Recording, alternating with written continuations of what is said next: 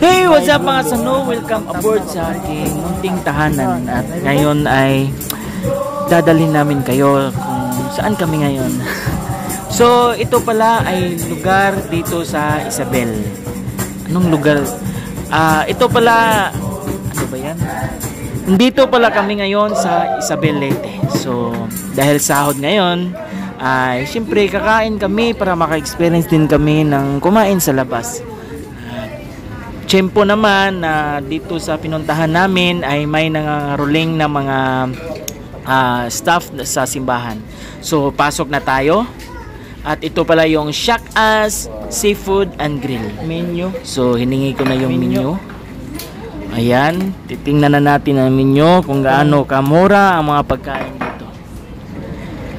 At syempre, ah, unexpected talaga kasi mahal pala ang mga pagkain dito. So nahiya na kaming lumabas at namili na lang kami ng kayang-kaya sa budget.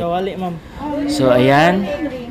Ang in-order pala na namin dyan ay lechon kawale at ah, sinigang na shrimp. O, di ba? Masarap. So, ito yung mga drinks nila mga sano. So, iwan ko kung anong mga flavor dyan. Basta masarap yan.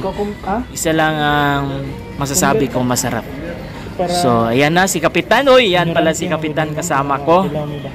Ah, si Chief Mate di pa nakita sa video so ayan nililista na lahat ayusin mo paglista mama so ito pa yung ito po yung area dito mga sano ang daming kumakain mga pamilya ah, magsyota barkada o kahit ikaw lang pwede dito so it- ito yung area dito Ah, huwag kayong magtaka kasi umuulan dito Nindot eh. Maulan Picture dito ngayon sa Isabelete. Yan, napakaganda po ng place nila. Kung gusto mong Oh, diri, oh. mag-unwind, mapag-isa, o Bartender. chill-chill lang. Sobrang ganda po. Yan. Yan, meron pa dyan sa taas. Kaya siguro mahal dito kasi maganda rin naman talaga yung lugar, mga sano. So, Picture, yan. Pinaupo ko na si Kapitan si Chipmate para mapicturan ko. Picturan ko sila. 3, 2, 1. Asa tong bera? Oh, nag-smile-smile na sila Kapitan na Chipmate. Oh, gulo. Diba? Yawa, bantur kay mo Ganyan lang, na mo lang. Ah, May isa pa. ganyan lang kami kasaya. Bali, maliit lang yung Three. kasiyahan namin mga ano. 2, So, kakapadala lang namin yan galing sa Palawan. At dumiretso kami dyan para sabi ko nila kapitan na chipmate, ma-experience naman. Para ma-experience ang man pero dire. ang mga pagkain na medyo social para sa amin, di ba?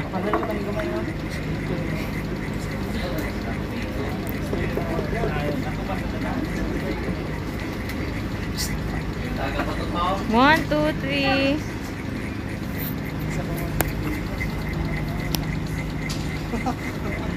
Sige, kapangataw. 1, 2, 3, mama.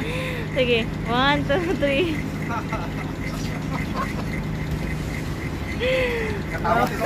Butang mga artista. So ayun po nagpa-picture kami. Ah, medyo scripted yung picture namin. scripted. So habang naghihintay ay yan, tungab-tungab. Tungab. Inom-inom na ng konti ng beer. Isang bote lang kasi mahal. Ayan, habang naghihintay kami. Yan si Chipmate at si Kapitan. So feeling artista kami dito. At ayan, dumating na yung plato. Kala ko may pagkain na plato lang pala yung dumating eh. Ay nako. Lato pag yun. Ah, gutom na so malapit na maubos yung beer ko. Ayan. Maubos na yan.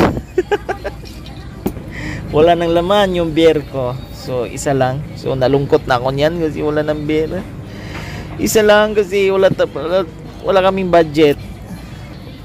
Oh, so ayan, tinanong ko na yung ah, staff kung andyan na yung pagkain.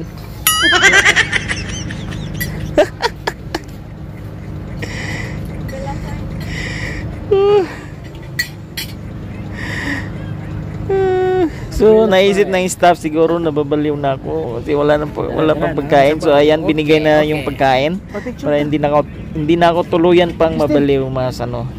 So, ayan. So, sa sobrang mahal po talaga ang mga pagkain dito sa no pero worth it. po. Mahal para sa amin. Para sa inyo, mura lang to. Yung lechon kawali na yan, per serve ay 295. At yung sinigang na shrimp Salamat ay ha. 250. Oh, ayan po. Ayan lang po order namin. Ayan. Umupo, pinaupo na sila kapitan. Ako kita. So pakinggan nyo na lang mga Ah, ni pinag-uusapan namin dito. 295. 250. Lima ra ka magsuod. Ah, tag 50 siguro kada kuan. Tag 50 kada shrimp. Taya. 50 kada shrimp.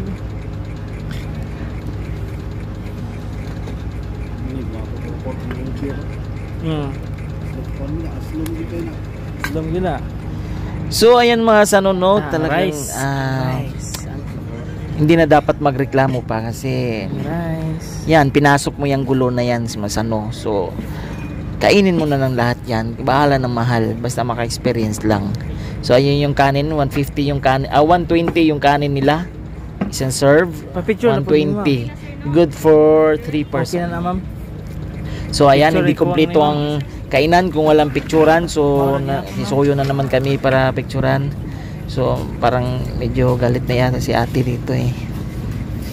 Yan, picture picture muna. Iswa gamay, sir. Oh, kana.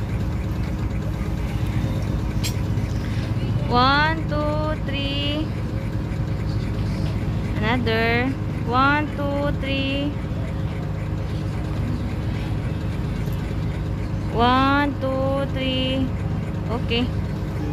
So ang gandang-ganda ng smile namin mga zanono pero deep inside ay kalungkot kami. Kasi kunti lang yung pagkain tapos ang mahal-mahal. Pero no choice na kami. At kakain na kami mga sano. Sige, ikaw na mo. Ikaw na mo. So panoorin nyo na lang kaming kumain mas ano. So hindi kompleto po ang kainan dahil nakalimutan po nila ang sauce para sa ah, lechon kawali. Kaya ako na lang kumuha mas ano. Oh. Kaya alam nyo naman Sauce. yung mga Pinoy hindi kompleto Sauce, yung kainan pag walang sausawan. Picturean Yan, ha? sausawan. So pinicturan ko sila Okay, kapitan. one, Chipmate. two, three, smile. Ah! Ayan. Extra rice.